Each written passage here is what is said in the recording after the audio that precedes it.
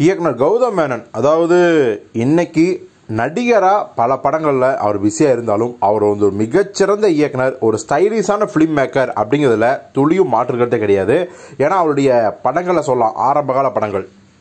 மின்னலே காக்க காக்க வேட்டையார் விளையாடு வாரணமயரம் வெண்ணை தாண்டி வரையா அப்படி சொல்லிக்கிட்டே போகலாம் இன்னும் சொல்ல போனால் அவருடைய போலீஸ் படங்கள் காதல் படங்கள்னு தனித்தனி கேட்டகரியில் அவருக்கு வந்து லட்சக்கணக்கான ரசிகர்கள் இருக்காங்க.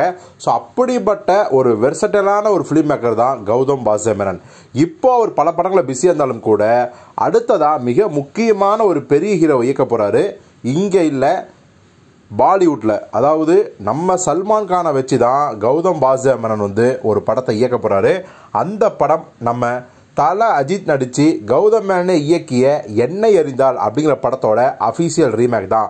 எண்ணெய் எறிந்தால் பார்த்தீங்கன்னா ரொம்ப ஆகா ஓகாவும் இருக்காது ஃப்ளாப்பும் கிடையாது.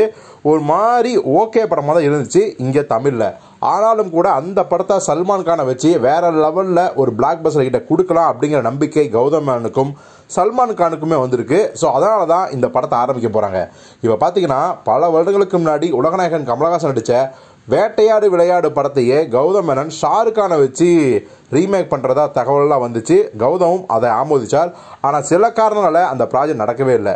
ஸோ இப்போது மீண்டும் பார்த்தீங்கன்னா மின்னலை படத்துக்கு அப்புறம் விண்ணை தாண்டி வருவாயா ரீமேக் பண்ணாரு ஏக் தீவானா தா அப்படின்னு பாலிவுட்ல. ஸோ அந்த படத்தோட தோல்விக்கு அப்புறம் மீண்டும் கௌதம் வாசமேனன் பாலிவுட்ல கால் வைக்கிறாரு. ஸோ கண்டிப்பா இந்த தடவை மிகப்பெரிய வெற்றியை கொடுப்பார் அப்படின்னு நம்ம உறுதியாக நம்பலாம்.